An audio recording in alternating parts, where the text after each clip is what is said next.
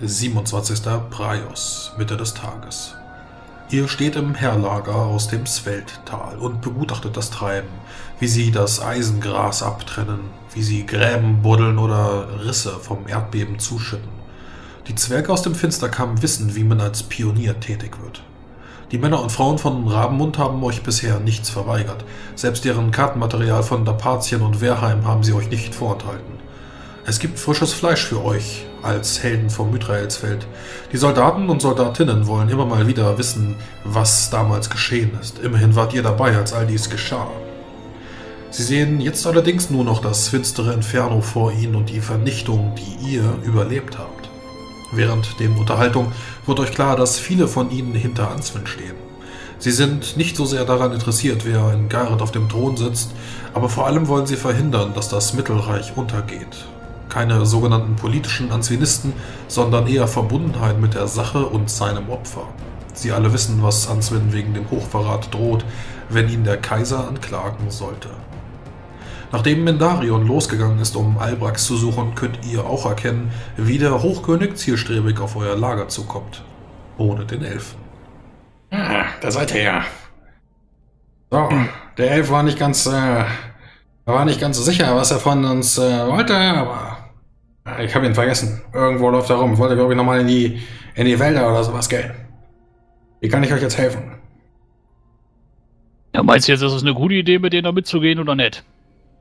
Mit den äh, Fexgewalten in Richtung äh, Wahrung oder was? Ja, ja.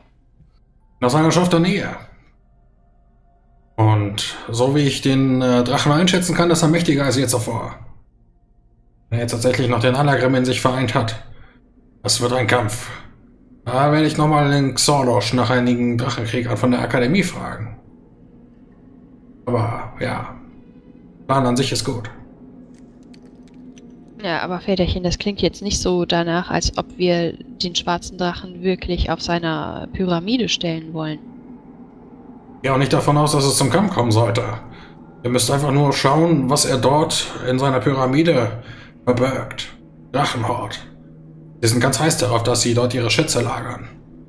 Und wenn man sie bei ihren Schätzen stört, dann kommen sie sowas mit. Oh, ihr solltet da mal äh, dabei gewesen sein, als wir damals bei Pyrnakor in die Binge eingebrochen sind. Und dann gingen die Drachenkrieger los. Ihr wart persönlich dabei? Völliger Unfug. Das ist mehrere Jahrtausende her. Aber so alt ist er nicht. Das ist jetzt sehr unhöflich. Spreche trotzdem von einem Wir. Wir Kinder von Angrosch. Ah, so alt sieht er gar nicht aus. Auf jeden Fall, ich hab dir schon mal gesagt, du sollst mich duzen. Ja, meine Güte. Macht hier die Umgebung. Nun, ein wichtiger Hinweis war natürlich von Answin, dass wir eventuell ein Stück des wahren Namens von Razzasso erfahren könnten. Das würde uns sehr weiterhelfen. Ja, Für diese Drachenmagie verstehe ich nicht, aber äh, kann man nicht abstreiten, dass schon, schon äh, wichtige Essenzen und Teile gibt, die in den Namen stecken. Müsste ich mal mit unseren Geoden sprechen. Aber äh, wo habt ihr Moltax gelassen? Ja, gute Frage, wo ist der hin? Läuft ihr irgendwo rum oder was? Na gut, ich hab nochmal mit Ja. ihm sprechen. Redet mit Ja, seinen. Geistern. Richtig, er wollte sich noch einmal äh, mit der Natur verbinden oder so. Also, ähm, äh, solltet ihr in den Hort eines Drachen einbrechen, so wird er dies mitbekommen und äh, sicherlich dafür sorgen, dass ein, äh, ein Diebstahl verhindert wird. Darauf ist ja, das ist ja genau das, worauf wir warten. Wenn äh, die Fexgeweihten das vollbringen können, dann werden wir davon erfahren, wenn der Drache wegfliegt und in Richtung Osten von hier aufsteigt. Gut, da bin ich ja auch gerne noch so weit bei den Leuten hier, aber wie kommen wir da wieder raus? Ich kenne mich in Warnung nicht aus.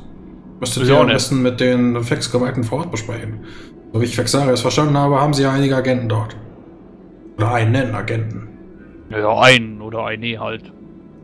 Äh, Isarun, ihr wart doch äh, bestimmt schon einmal in Wahrung. Ihr seid doch Turbrien. Ja, aber das ist schon sehr lange her. Damals war es noch eine blühende Stadt. Nun, das kann man jetzt nur nicht mehr, nicht mehr behaupten.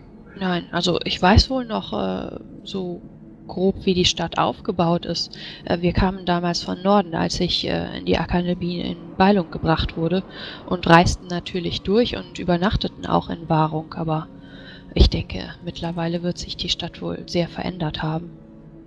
Hm. Wenn wir dorthin gehen, sollten wir auf, auf jeden Fall einen narrensicheren Plan schmieden. Aber fragt, äh, wieso seid ihr sowieso hier? Ich hätte euch in Gareth erwartet oder ich hätte doch Igna mit Boltax gemeinsam in Richtung Gareth geschickt. Was habt ihr in der Zeit gemacht? Das ist etwas, worüber wir tatsächlich mit dir reden wollen. Denn wir sind wirklich nicht grundlos hier und wir haben etwas, eine Aufgabe, die wahrscheinlich sogar wichtiger ist, als nach Wahrung zu gehen. Er schaut sich ja mal um. Ja, dann äh, raus damit. Wir suchen das wahre Kaiserblut. Und versuchen es aus den Händen des Drachen zu halten. Das wahre Kaiserblut. Wenn ihr jetzt richtig mitbekommen habt, dann sitzt der kleine Selindian jetzt auf dem Thron. Richtig? Ja, und seine Ja. komische Alte da. Wie heißt die nochmal? Mehr oder weniger. Äh, Alara. die Kaiserin wird für Alara, richtig. Die Kaiserin will von Lara natürlich. Ja, aber wir haben ein. Wie heißt sowas, Hinweis Isaru? Ein Fingerzeig. Artefakt. Ein Artefakt könnte man sagen. Ein Artefakt. Und das sagt, als wäre hier noch irgendwo am Rumlaufen und jetzt wollen wir gerne gucken, wo das endet. Es Interessant. könnte sein, dass Rohaya noch lebt. Würde Oder- die Sache natürlich kompliziert machen. Kompliziert inwiefern?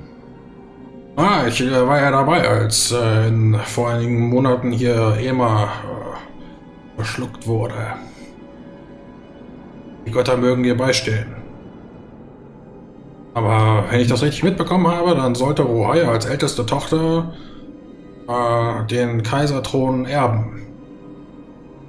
Aber dadurch, dass sie nun als vermisst gilt, ich weiß nicht, ob der Tod schon erklärt wurde, sollte Selindian den Anspruch erben, weil ihre Schwester Hippolyta, die gleiche alt wie Rohaya ist, äh, den Anspruch verwirkt hat.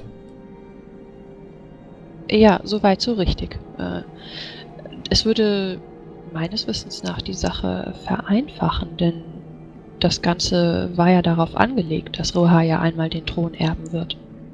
Das heißt, der Status quo würde wiederhergestellt werden.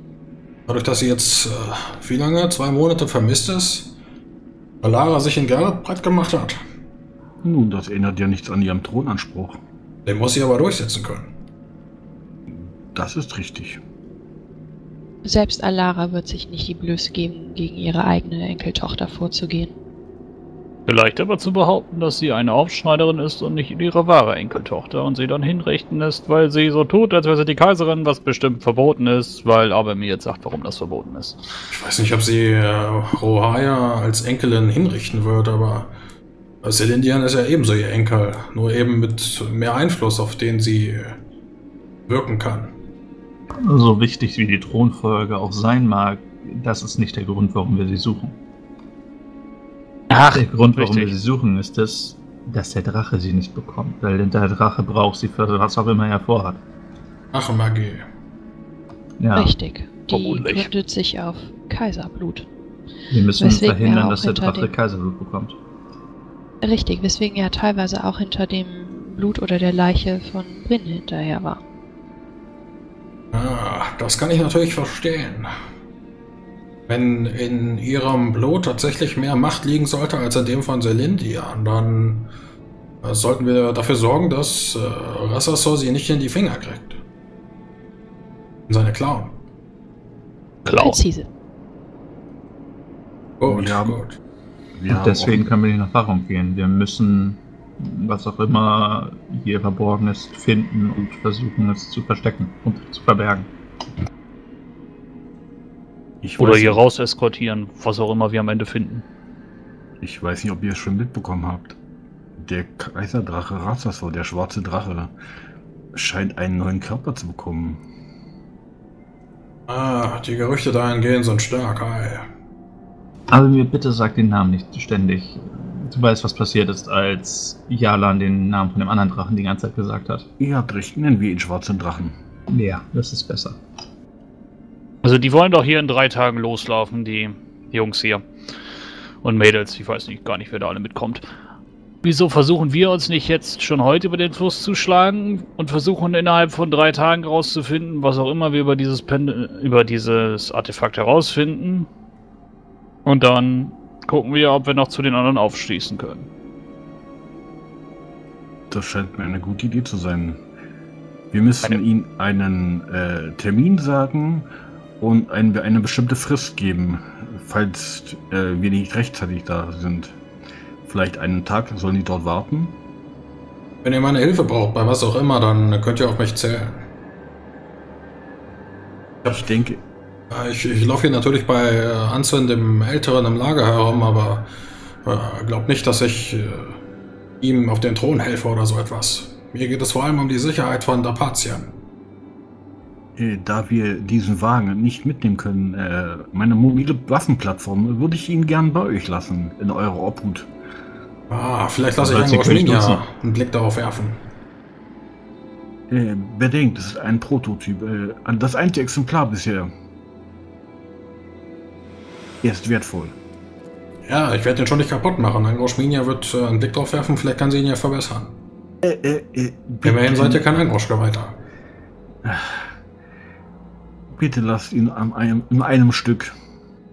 Aber nur, wenn du mich anfängst zu duzen, habe mir. Äh, natürlich, Albrax. Der schon in Garrett gesagt.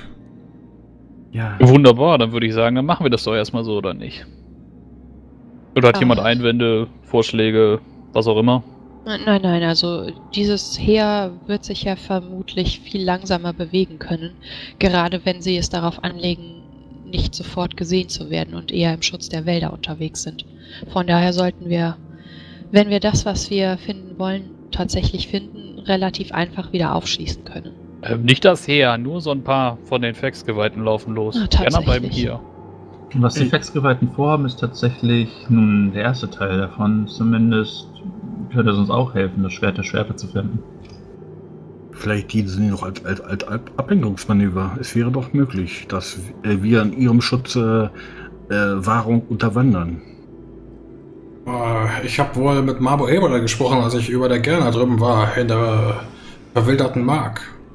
Und Marbo Eberle sagte, dass äh, Ayla wohl in der Nähe von Romulus gesehen wurde. Dass sie jetzt nach Romulus aufschließen will und äh, sich dort der Fürstin anschließt. Hm, Rommelis. Nun, da waren wir vor kurzem erst und haben es freigeräumt. Es liegt zu weit ab vom Schuss. Wir können sie niemals erreichen dort. Hm, wirklich? Nun, wenn wir von hier aus ähm, nun durch die schwarzen Landewanne und dann Richtung Rommelis äh, uns zurückziehen, anstatt hier wieder über Wellheim uns zurückzuziehen, könnten wir dort vorbeischauen. Das ist allerdings wahr. Und die Faxgeweihten den Weg hin begleiten und ihnen zumindest äh, beim ersten Teil ihrer Reise helfen. Nun, äh, so wie ich das Panel richtig gedeutet habe, zeigt es nach Osten, nicht wahr? Und Romlis liegt im Südosten. Ich dachte, das ja, zeigt allerdings sogar nach Nordosten. weit weg. Und irgendwo müssen wir den Fluss wieder überqueren. Ich, wenn wir finden, was wir suchen, würde ich ungern hierher wieder zurückkehren. Ich würde sagen, macht erstmal eins nach dem anderen. Wenn ihr jetzt das Pendel verfolgen wollt, dann äh, folgt dem Pendel, wo immer es äh, zeigt. Und dann könnt ihr von da aus äh, besprechen, wie es weitergeht. Damit habt ihr zumindest was das zum ersten Mal äh, einen Verlust beigebracht, wenn ihr das Kaiserblut von ihm entfernen könnt. Ein zweites Mal könntet ihr ihn schwächen, wenn ihr den wahren Namen von ihm äh, in Erfahrung bringt. Das halte ich Etwas anderes, was wir dir noch erzählen können, was wir erfahren haben von einem anderen Paktierer der Grabschänderin, ist, dass Rassasso scheinbar versucht, sich von seiner Herrin zu lösen. Und deswegen mit den anderen Nekromanten im Krieg ist. Naja, Drachen sind verräterische Biester. Hat doch nicht Unrecht. Hat doch nicht Unrecht. Aber ich halte Albox Plan für eine gute Idee. Erledigen wir erstmal Rohaya, wenn ihr mir diesen Ausdruck gestattet. Äh, nein, gestatte ich nicht, wenn ihr mir gestattet. Ich, ich gestatte. Nun, äh, dann, dann äh, finden wir zuerst Rohaya und dann den schwarzen, äh, den schwarzen Drachen. Den Namen. Keras, äh, wenn du aber mir verbietest, den Namen auszusprechen, dann solltest du ihn auch selber nicht aussprechen. Ach ja, Verzeih, ein kleiner Fauxpas. Sei dir verziehen. Dankeschön, sehr gnädig. Wie harmonisch. Ich bin sehr stolz auf euch. Aber ihr solltet an eurer Willenskraft arbeiten. Er tippt sich immer mit dem äh, Zeigefinger gegen die Stirn. Äh, wenn ihr so ein äh, abgehärteter äh, Lausebub seid wie ich, dann äh, ist es auch egal, wenn diese Stämme in euren Köpfen anfangen kann. Unterdrückt man das einfach. ja, das ist wahr. Ihr sollt lachen, wenn der König einen Witz macht. Schütteln nur mit dem Kopf. Äh, ich werde euch Menschen nie verstehen. Ah, du hast ja noch ein paar hundert Jahre. Äh, nun, dann wollen wir morgen früh aufbrechen. Sollten wir nicht so bald wie möglich aufbrechen, wenn wir mit Vorsprung aufbrechen wollen? Ich müsste noch etwas erledigen im Lager. Wenn ihr mir noch ein oder zwei Stunden genehmigt, Was habt ihr vor? äh, ich muss jemanden aufsuchen. Tatsächlich, wen denn? Ihr seid immer so neugierig. Eine sehr ungewöhnliche Eigenschaft für ein äh, Feind des Lichts. Findet ihr? Findet ihr es das ungewöhnlich, dass ich alles wissen möchte? Ist das Äh, nicht ja, das genau nicht, das, was äh, ein Fall das- des Lichts machen sollte? in der Richtig, Tat. ist das äh, nicht eine der Tugenden der Herrin Esinde? Äh, nicht Neugier, Wissensdurst. Wissensdurst, nicht Neugierde. Ja, ich möchte sehr gerne wissen, was ihr im Lager vorhabt. Ich möchte gern den Versacher Magus aussuchen. Ich bin mir nicht sicher, ob er nicht eventuell ein Überläufer ist. Benötigt ihr meine Hilfe, Abelmir? Nein, Seid ihr euch ganz sicher? Immerhin äh, wurde ich dafür ausgebildet, abtrünnige sagen, Magier aber zu mir. jagen. Also Pfeil des Lichtes spüren Schwarzmagier auf. äh, nun, ich denke, ich werde erstmal mich unterhalten. Äh, dann werden wir weitersehen. Ich glaube, das ist so eine Unterhaltung von Schwarzmagier zu Schwarzmagier. So, und das stört hier bestimmt nur. Äh, ich würde euch nicht zustimmen, aber es dient meiner äh, Unterstützung. Also lasse ich es gelten. Wieso? Ich verstehe schon, Abelmir. Ich grinse Isaru nur an. Sie Ja, dann lauf! Seele? Abelmir, wir wollen aufbrechen! Äh, äh, in der Tat, in der Tat. Äh, sorgt, sorgt inzwischen äh, für Proviant. Ihr wisst schon, was wir brauchen. Nicht wahr? Gut. Äh, K- Albrax, ich hätte beinahe Hochkönig gesagt, verzeiht mir wieder einmal. Äh, Albrax, äh, äh, entschuldigt mich. Ja, was auch immer. Ich stehe auf, verbeuge mich und renne, aus, fast, renne fast aus dem Zelt raus. So, Rafim, zwei Stunden zum Bier trinken. Schauen wir mal, wie schnell du trinken kannst. Oh, naja, ich muss auch gleich noch Mira füttern, sonst beißt hier noch jemand in die Hand, du. Aber schon fast größer als ich. ja, noch nicht, aber warte mal, bis sie wächst. Ja, Mira, ne? Ja, bist ein braves Mädchen. Lass meine Hand los, Mira. Du musst da nicht reinbeißen. Ich sehe gerade, du hast ja deinen Finger abgeschnitten. Ja, das passiert mal. Das war doch extra. Lüg mich nicht an. Ihr müsst lachen, wenn Rafim einen Witz macht. nein, nein. Ja, ich bin äh, den mutigen Brüdern beigetreten. ja. bin einer von Kors Jüngern jetzt. Also so ganz offiziell, wisst ihr. Ich, hab, ich wollte hier meinen Wappenrock sehen, ich habe ihn im Rucksack, damit er nicht nass wird. Und fülle mal meinen Wappenrock aus. Seht ihr? Seht ihr? Richtig mit Wappen und allem. Habe ich, hab ich mir anfertigen lassen. Ist doch schick, oder? Ah, Na gut, na gut. ich Ähm, finde ihn schön. Ich finde schon jemand anderes zum Trinken. Du nicht willst. Nun, ich trinke gerne mit. Gut, dann kommt mal mit. Ah, zu gerne. Oh, es ist schon ewig her, dass ich richtig betrunken war. Derweil kann Abel mir in dem Lager herumrennen. Würfel doch mal bitte auf Gassenwissen, damit du ihn findest. Okay. Schwerst dir um oh, vier Punkte. Zehn Kontakte zu? Nee, oder? Oh, nee, du hast hier keine Kontakte. Ja. Jung sein. Und äh, nachdem du dich ein bisschen herumgefragt hast, wirst du dann auch mit äh, vielen äh, verabscheuungswürdigen Blicken auf ein Zelt gewiesen, auf dem du dann auch äh, ein großes, eine große schwarze Hand erkennen kannst, die äh, ja äh, auf alle Fälle dann auf die schwarze Akademie hinweist. Einige Glyphen, einige Runen, die daran angebracht sind und ja, keine weiteren Wachen, nur noch ein weiteres Symbol, dass er zum Roten Mond gehört. So dann vor dem Zelt stehen. Ich würde zuerst am, am, am Zeltrahmen klopfen, an der an das Holz gestellt, das den Eingang darstellt. Ja, du kannst. Markus Amirion? Du hörst von drinnen ein Schnauben. Ja,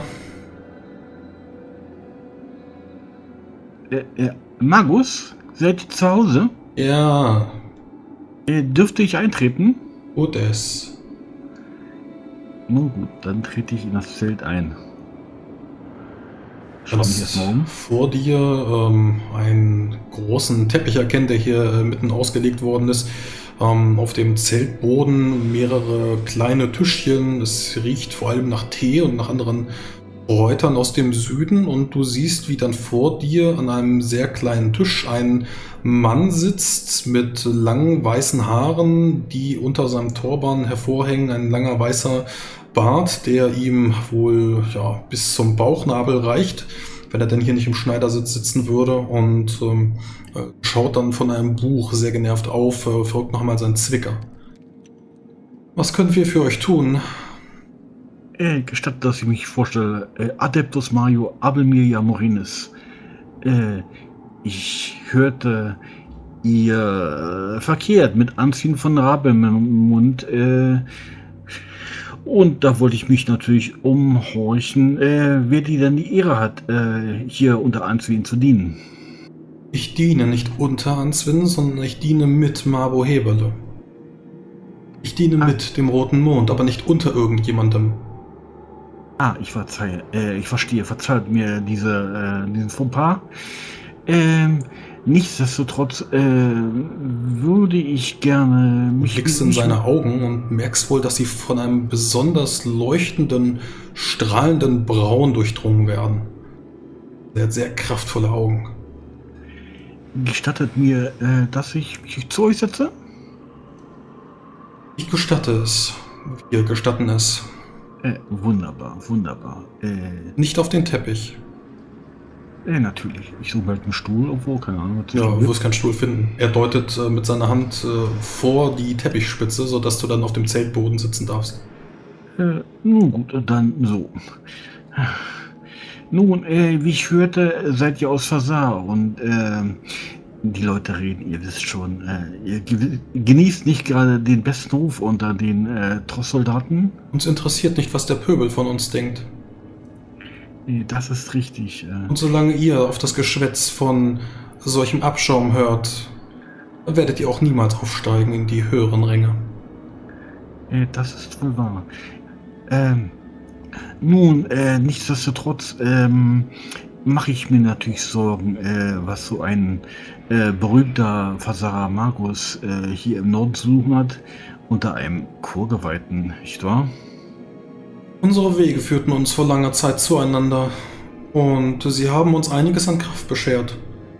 Ich hinterfrage die Aufträge nicht, aber sie werden gut bezahlt und so bin ich äh, unter anderem gewillt, mit diesen ähm, niederen Kreaturen zu arbeiten.